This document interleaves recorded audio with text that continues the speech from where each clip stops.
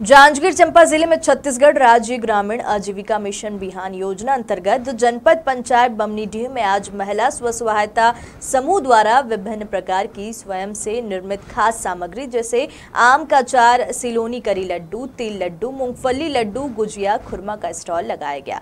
साथ ही कोरोना महामारी से बचाव के लिए phenyl hand sanitizer hand wash भी उपलब्ध था। वहीं रक्षाबंधन के त्योहारों को लेकर महिलाओं द्वारा आकर्षक राखियाँ बनाई गई थी, जो ग्राहकों को अपनी ओर आकर्षित कर रही थी। बमनी डी मुख्य कार्यपालन अधिकारी कुबेर सिंह उरेती ने समूह की महिलाओं का हौसला बढ़ाया और जनपद के प्रतिनिधियों द्वारा सामान की खरीदारी भी की गई।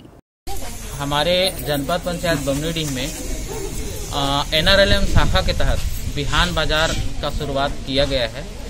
आज के इस बिहान बाज़ार में अभी रक्षाबंधन का समय है।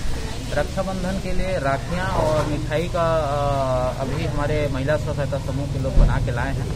इसके लिए हम लोग यहाँ पे अभी मार्केट उपलब्ध करा रहे हैं। हमारे सभी जो भी यहाँ पे नागरिक आएँगे उनसे अपेक्षा करते हैं कि ज़्यादा से ज़्यादा प्रोत्साहन करने दें हमारे आ, करें आ, हमारे महिला जांजगीर चंपा से कृष्णा टंडन की रिपोर्ट।